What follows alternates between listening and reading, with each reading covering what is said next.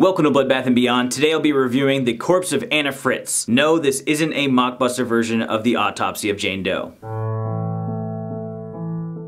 Directed by Hèctor Hernández Vicens, starring Alba Ribas, Cristian Valencia, Albert Carbó, and Bernat Saumell. This is a film about Anna Fritz, a famous, beautiful actress who's just passed away. Two friends decide to join up with their third friend who happens to work in the morgue where Anna Fritz's body is awaiting her autopsy. So the three of them sneak into the morgue to see her body. In order for me to properly review this film, I have to talk about some unavoidable spoilers. Uh, something major happens at the beginning that sets up the rest of the film, so it's really important for me to talk about. So if you're interested in the film, I will let you know right out the gate that it is a pretty decent movie. It's not the best, but it is enjoyable. So if you want to go and watch that before you watch the review, now's the time to leave. Firstly, this movie is a one location movie. The bulk of it takes place in the morgue, in the room that Anna Fritz's body is kept. Basically, Anna Fritz would be something like an Angelina Jolie. So these guys are kind of almost starstruck. Two of them haven't seen a dead body before, so they're kind of nervous at first. They touch her, and then they begin to grope her, and eventually it leads to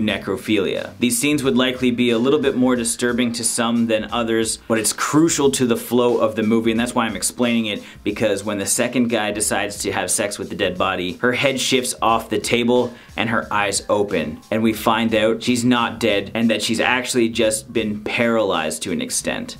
So she knows exactly what's happening and she's just forced there to be raped while she's still alive and she can't fight back, she can't do anything, and she knows that the danger that she's in. And that's why this movie is pretty crazy because it's just such a, fucked up situation that becomes more fucked up when Anna Fritz is actually alive. And so the concept is great because she's in this situation where she needs to try and get out.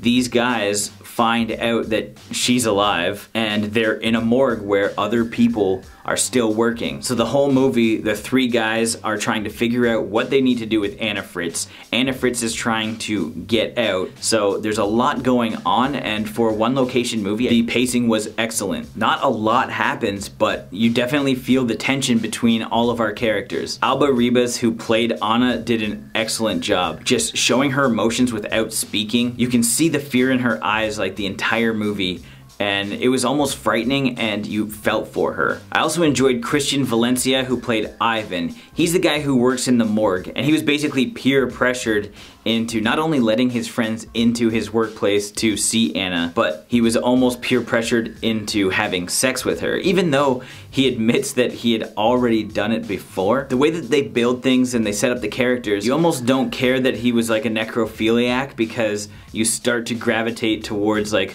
more of his like better characteristics. And I know that's super weird to say. It's just like, oh yeah, ignore that he bangs dead bodies. Just completely ignore that. He's a good guy at heart. It sounds weird to say, but at points and even up until the end of the film, you're gonna feel that way. And speaking about the end of the film without getting into any spoilers, I think that people will enjoy their investment of time for the rest of the movie uh, for a satisfying ending. When it came to the acting in this movie, I wasn't a huge fan. Now, I've talked about this before where it's very difficult for me to understand when I'm reading subtitles if somebody's a good or a bad actor, but our main antagonist, Pau, he didn't seem that real to me. He was being very aggressive and just being an asshole, and I can't see how Ivan would have ever hung out with somebody like that. So, while I do like the characters individually almost, and like the circumstances that they're in, I don't think that these guys would have ever hung out before. Like, it just, just didn't seem like real friendships or relationships. But again, that could be like a translation thing where I couldn't read the characters properly. And while I like some of the tense situations in the film,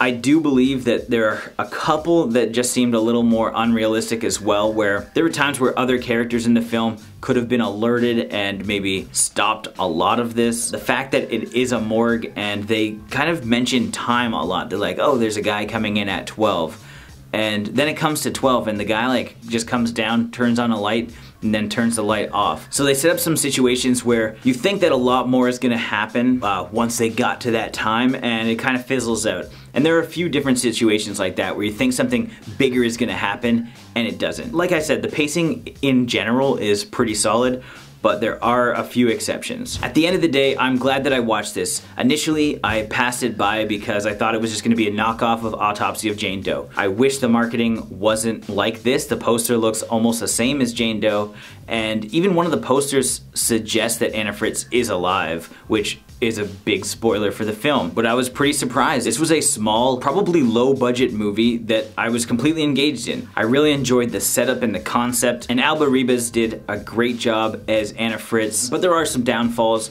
in the way that some of the situations are presented. I don't think there were enough consequences for some of the decisions that were made. So I'm gonna give this three garbage shots out of five. As always, thank you for watching. Like this video and comment below with your thoughts on the film if you've seen it. If you haven't and you do want to check it out, there are links in the description where you can find it. And if this is your first time here, make sure you subscribe to the channel, stay updated with everything Bloodbath and beyond.